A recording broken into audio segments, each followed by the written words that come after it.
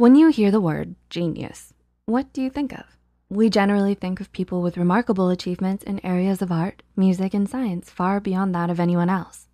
However, scientific research into people with noticeable achievements reveals some surprising traits that anyone can learn from, including you. Turns out genius is a trait that anyone can nurture. With that said, here are seven ways to unlock your genius. Number one, forget about IQ. Surprised? Number two, flex your creative muscles. Number three, exercise regularly. Number four, engage in curious thoughts and ideas. Number five, adopt a growth mindset. Number six, collaborate with others. And number seven, play video games.